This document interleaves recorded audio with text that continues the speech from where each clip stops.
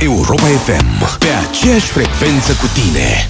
Să vorbim de un caz din... Un alt caz uh, de hoție din București. Orașul cu șapte primării, unde, fiind atâtea primării, mafile edilitare își fac de cap și trag cu tunul după banul public, pe care îl spulberă cum îl prind. Mama, au ăștia o țintă, nene, cu tunul e ceva.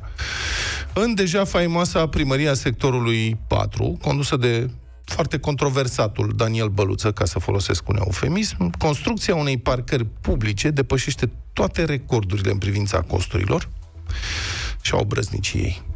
Astfel, în medie, un loc din noua parcare supraetajată de pe șosea Olteniței este plătit din bani publici de primăria domnului Băluță cu, țineți-vă bine, 128.000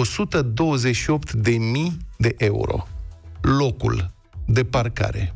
Un loc. E vorba de 290 de locuri de parcare, pentru că primăria sectorului 4 s-a angajat că va plăti 37 de milioane de euro a descoperit publicația Buletin de București, consultând documente oficiale. Păi vezi, mă, cum e viața asta făcută? Ea la gimnastică, la gimnastică, la canotaj, ia 160.000 de euro și e mare pampoi. Domne, că au luat 160.000 și și 100. Uite, cu banii aia își pot cumpăra un loc de parcare în sectorul 4 pe șoseaua Olteniței. Ce s-a scumpit viața pe bani publici în țara asta, Vezi? nu? Pentru comparație, spitalul dăruiește viață, ridicat de la zero și utilat complet, a costat 53 de milioane de euro. Deci mai mult, adică 53 la 37. Dar acest spital nou-nouț pentru copii bolnavi de cancer, făcut din donații, are 9 etaje, în timp ce parcarea domnului Băluță nu are decât 4 niveluri. Un parter, două etaje și o terasă circulabilă, unde se presupune că o să se parcheze și acolo. Uh-huh. Deci, cum ar veni etaj pe etaj, parcarea costă 9,25 de milioane de euro pe nivel, în timp ce spitalul costă 5,8 milioane de euro pe nivel. Da. Da.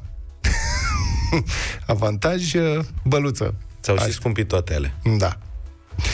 Bun, nici nu mai pune la socoteală echipamentele. Adică, bă, cum să plătești 128.000 de euro pe un loc într-o parcare supraetajată? E o parcare supraetajată, e o structură de beton.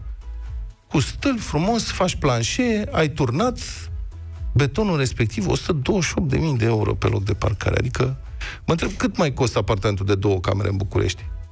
E cam, adică... Pe acolo. Da. Și cam ce suprafață medie ar fi un apartament de două camere, cât să aibă? 50 de metri? 45? 60. 60 de metri pătrați, nu? La banii 50? ăștia. Da.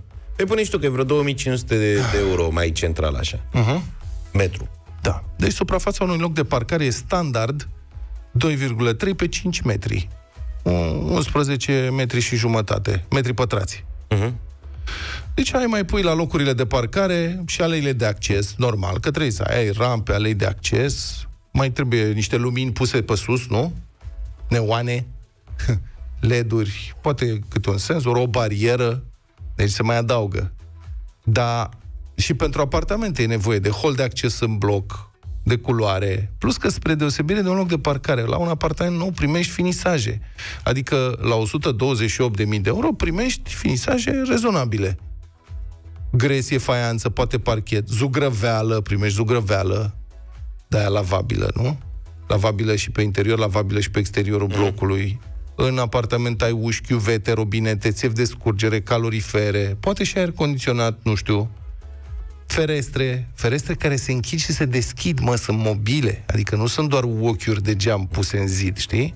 Sunt de-astea mobile. Ușă, ușă de metal cu vizor, interfon, ce să spun, primește o mulțime de lucruri, lift pe casa scărilor și primește chiar și casa scărilor. E să nu ne facă o surpriză domnul Băluță să spună toate astea în parcare. Duș. Să-ți facă cu ușă proprie, cu... Nu-mi revin. Cum să coste 128.000 de euro un loc de parcare făcut din banii cetățenilor în sectorul 4? Și cetățenii sectorului 4 să nu spună nimic. Cetățenii sectorului 4 sunt atât de fericiți.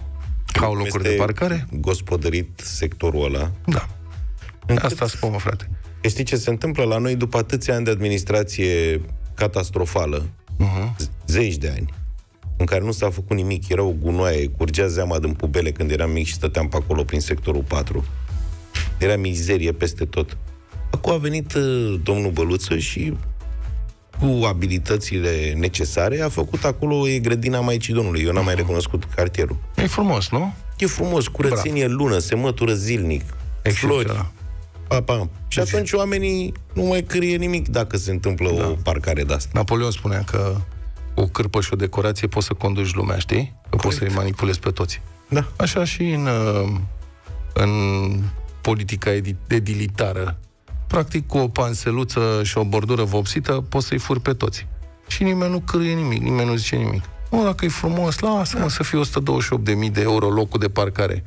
E adevărat că nu avem spitale și că a trebuit să facă unul din donații publice la preț mai mic decât locul de parcare.